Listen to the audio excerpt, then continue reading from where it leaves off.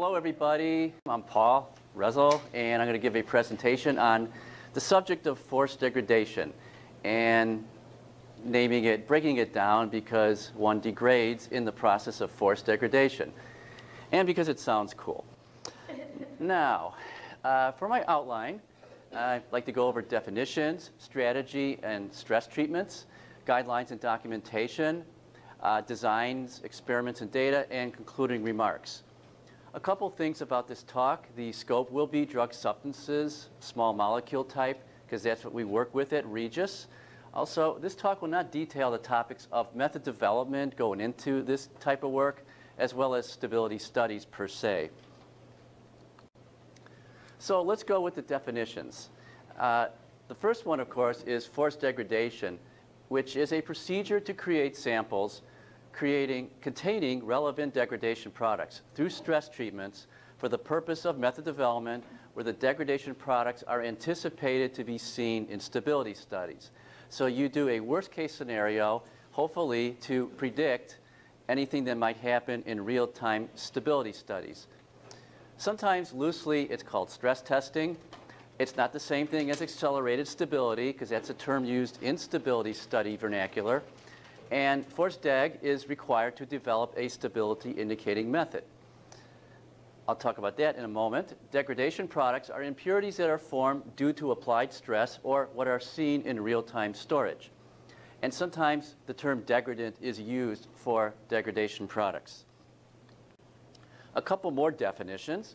A stability indicating method is a method having the specificity to reveal degradation products and separate them from the parent component.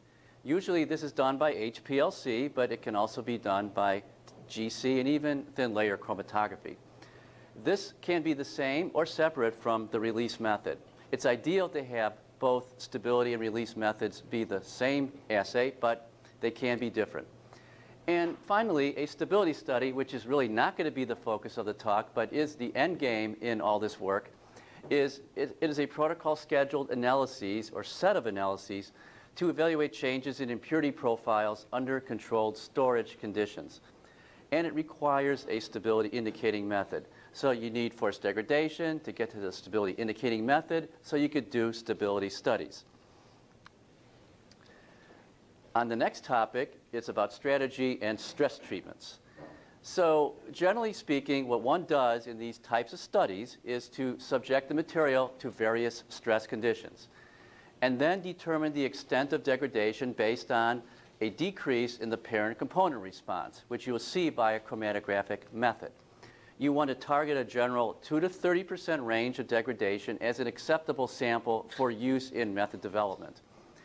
And, and using that sample for method development, this is what's going to get you toward a stability indicating assay. So I'll develop these points in the talk. Here's a list of stress treatments thermal, humidity, light, aqueous unbuffered or neutral, acid-base oxidative, and freeze-thaw. So it's a pretty big list. The top three generally are covered with solid samples or as-is materials, and the lower part generally pertains to solutions or suspensions. However, you can cross over as needed. The significance of having a target 2 to 30 percent is it's not a written in stone range by the way. It's just a good approximation of how much you want to degrade your material when you subsequently decide you're going to use that sample for method development. So you can go higher if the degradation pattern is simple and that is if just one or two peaks are formed or you might need to go lower if um, you're finding that you have a lot of little peaks due to non-specific degradation and finally, you might conclude that a material is so stable under a given stress condition that you can't really attain that target, but you tried as hard as you could. A couple of other definitions that um, are pertinent to this field are primary and secondary degradation products. So primary degradation products are what you, what you form when you degrade a sample, and these are the emerging deg products. And it's the type of degradation product you want to create in your sample from stress treatment. Secondary degradation peaks are what result from breakdown of primary degradation products. And typically they're irrelevant and make the method development job unnecessarily more difficult. I just took this off of a, an online source. It's, it's a little funny how they say things, but degradation products and how you might find if you degrade too much or too little or just right. And what I like is the middle one. Predictive is when your degradation level is good, where one or more relevant degradation products are observed. Useless is when you over-degrade or maybe you degrade and put a lot of treatment into something and you're not actually seeing anything form. So what makes a method stability indicating?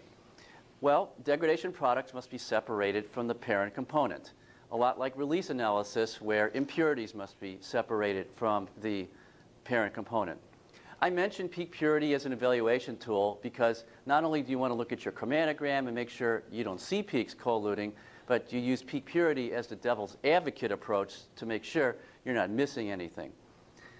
Um, degradation products should be ideally separated from each other. Now that's the, that is ideal, and sometimes it's not an easy thing to do.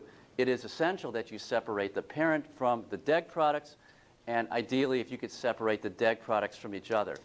The ideal method, as I mentioned here, it might be extremely difficult to attain. And a better use of time would be to look at what happens in real-time stability studies, because usually the emergence of such peaks in real-time stability is a lot slower, and you have time to figure out what's going on. And it might be necessary to adjust chromatographic conditions down the development path of a project. But you hope you don't have to do that. this is just a, an example chromatogram of where you show a blank at the top, in the middle is a control sample, and at the bottom is a degraded sample. I'll get into a little bit more about chromatography and how you deal with data shortly.